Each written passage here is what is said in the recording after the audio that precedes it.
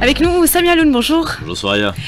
Aujourd'hui, nous allons parler de cette technologie qui permet de récupérer, ou plutôt, pardon, de repérer rapidement les infractions routières, une technologie et des outils utilisés pour récolter de la donnée directement sur le terrain. Alors veiller à la sécurité des automobilistes, lutter contre des phénomènes comme la conduite imprudente ou autre forme de terrorisme routier à l'aide des nouvelles technologies.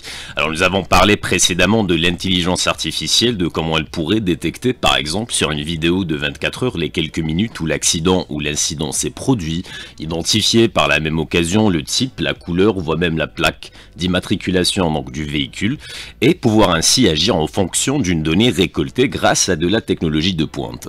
Un concept est suggéré dans ce sens, la vidéo verbalisation, soit à distance repérer n'importe quelle infraction routière.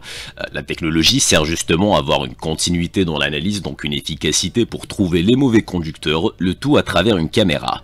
La connectivité, le numérique pour lutter contre ce fléau, des applications existent telles que Allo de la DGSN ou encore Tariqi de la gendarmerie nationale. Le smartphone est au cœur de ces concepts et euh, qui sont sous forme en fait d'applications. Les informations, les données sont directement transférées pour faciliter le côté opérationnel. Excellente application, moi je trouve, Hakim. Oui, euh, on pourrait peut-être parler, euh, Samir de cette application euh, sur euh, les, les, qui décrypte les, les, pleurs des bébés. Oui. Alors, l'intelligence artificielle, qu'est-ce qu'elle fait?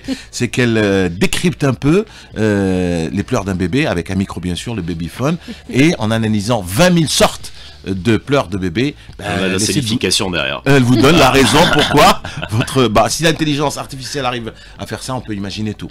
Ah bah, tout simplement. on n'arrête pas le progrès. Bah. C'est à 47 minutes.